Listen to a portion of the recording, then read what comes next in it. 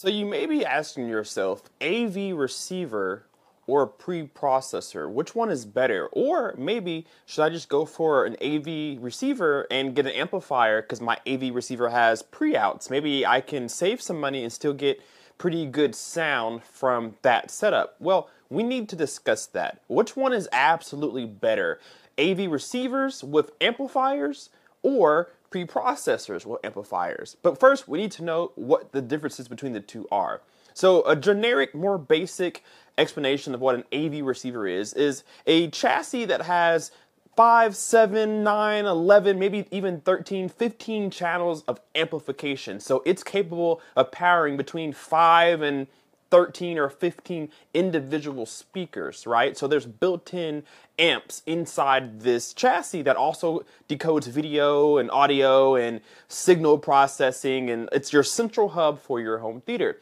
Now, the preprocessor is also the same thing. It's your central hub for your home theater, but there isn't amplification on the inside. It is a preprocessor, meaning it processes everything but doesn't actually give that information to any of your speakers. It relies on outside external amplification like a power amplifier. Now, some AV receivers have pre-outs on the back, meaning on the back of your receiver, you may have the option to plug in some RCA cables and use them towards an external amplifier and get better sound or more power using a receiver. Same thing as an AV processor. So you may be wondering, hey, if my AV receiver has pre-outs for let's just say in this case nine channels okay if i have nine channels of pre-outs on my receiver versus nine channels of pre-outs on my preprocessor, why would I want to go get a preprocessor that costs more? So let's talk about that. It's actually really up to you which one is going to be better. Now, I have my own personal opinion on which one is better, but it's not that simple. A lot of people will just tell you, yeah, AV processor is better because it sounds better. Well, that may be true, but there are a lot of other factors that make maybe an AV receiver better for you. Now, there are a lot of receivers on the market, and nowadays you can get some pretty expensive receivers. Like, for example, the AVM, or excuse me, the Anthem MRX series is a pretty expensive receiver.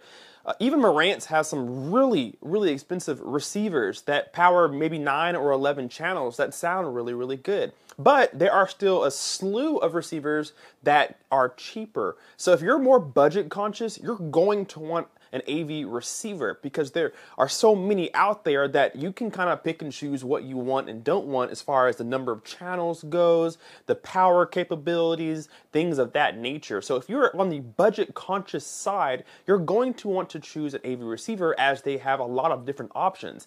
AV processors kind of have a benchmark price tag, which is usually around that uh, mid to $2,000 range and goes up from there. So if you want to keep the most money in your pocket, you're going to actually want to go for an AV receiver. So let's circle back to the question in the beginning of the video. If I have an AV receiver with pre-outs, does it really make sense to go up towards an AV processor if my AV receiver can do the same thing? Well, it's still up to you, but here's why I think you may want to consider an AV processor if the money permits. AV receivers that have pre-outs still don't have the same DAC quality or audio quality that the AV processor has. That particular manufacturer, let's, let's use Anthem in this example. Anthem has receivers and they have preprocessors, but they save their best DACs and their cleanest signal, their cleanest sound path for their higher end gear. So those pre-outs on your AVM processor will sound better than the pre-outs on your AV receiver from the same company. And same thing for the likes of Marantz and Denon and Sony and Pioneer and all the other ones, right? You're going to get the best audio quality, the cleanest sound path, the best signal, the best processing, the best hardware that that particular manufacturer can have in that processor. AV receivers are really good, but they'll never be as good as the AV processor. Look at the AV processor as the teacher and look at the AV receiver as the student. The student will never be as good as a teacher. It'll be pretty close, but you can't be better than, you know, who taught you if you get that analogy. So the AV processor holds on to the greatest of greats and kind of trickles on some of that stuff down the line to the AV receivers. Think about it like car trim levels. You have your base models, you have your mid tier, and then your limited, right? The limited has everything, and maybe the mid tier has a lot of what the limited has, but not quite everything. And then your base model doesn't have anything that the limited has. So there are different tiers, and you can consider AV receivers as tiers, and then you get up to the limited when you get to the processor.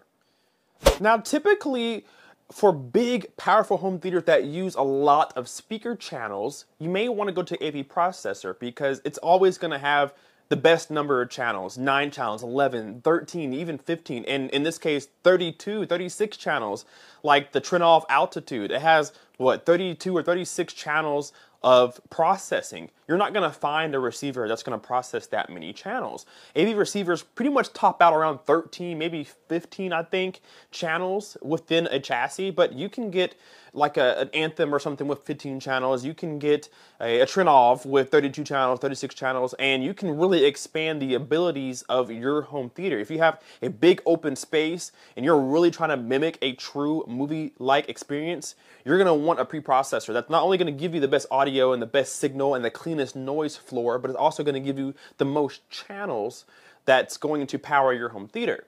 One thing that you may not be considering as well is the preprocessor is going to have the latest and best calibration system from that manufacturer.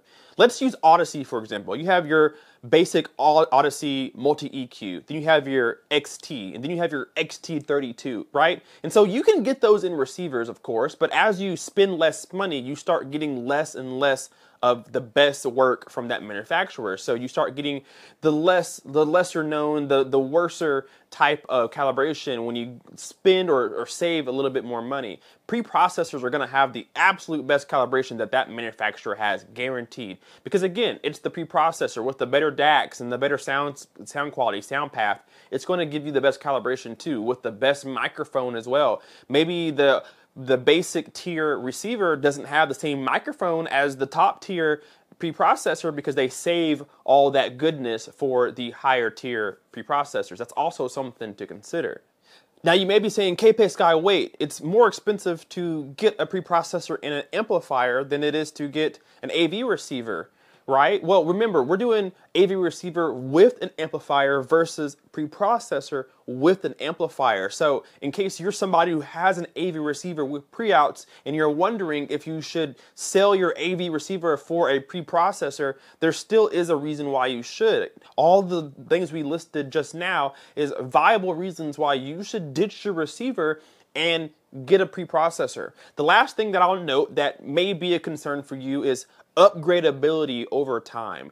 My Anthem AVM 70 preprocessor came out of the box with out 4K 120. Doesn't have 8K HDMI board. Doesn't have the latest HDMI built in, but I have the ability to upgrade it. Also get beta updates and things like that as Anthem updates things and adds new features my AVM 70 is one of the first products of their line to get those new upgrades. Receivers typically don't get upgraded over time. They don't usually get new HDMI boards or things like that. They typically stay the same throughout their life, which is why they come obs- they become obsolete a lot faster.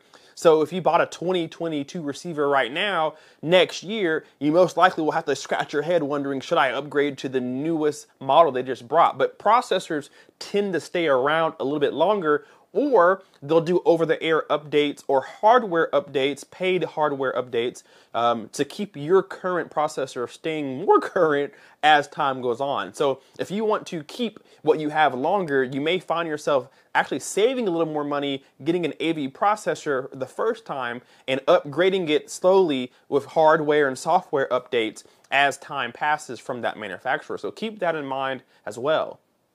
All right, guys, that's the conclusion of this battle AV processor versus AV receiver. Which one is best for you? Ultimately, it is your decision, but there are tons of other reasons why one may be better than the other that I didn't mention. So, what I want you to do is get down there in the comment section and leave me some other reasons why one is better than the other.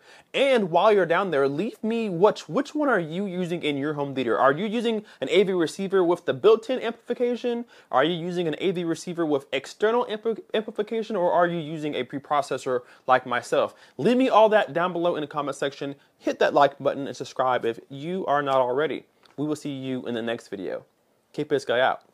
Peace.